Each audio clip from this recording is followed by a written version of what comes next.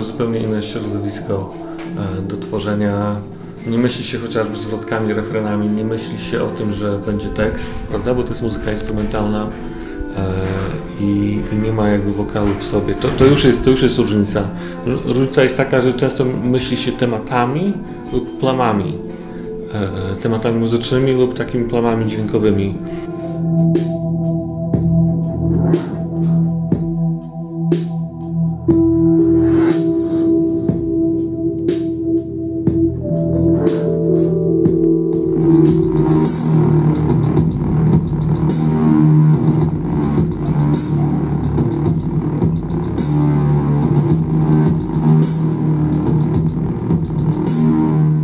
Jestem już z nim tak zaznajomiony, że jest dla mnie on, że tak powiem, oczywisty. Ja nie widzę w tej chwili tej różnicy, ale to dlatego, że ja dużo z tym filmem obcowałem, sił rzeczy.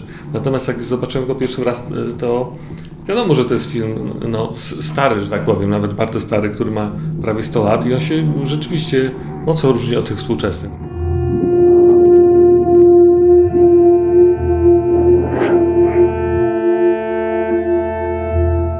Mojego punktu widzenia jako twórcy jest to taki bardzo intensywny wgląd w to, jak twórczość, akurat filmowa, nie muzyczna, wyglądała właśnie wtedy.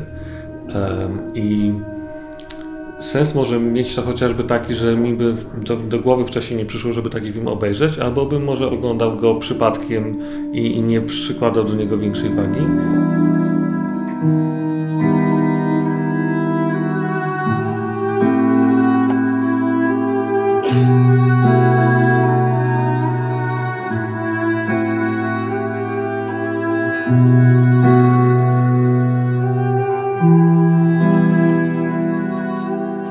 Zderzenie powiedzmy światów, prawda, tego sprzed 100 lat z tym dzisiejszym.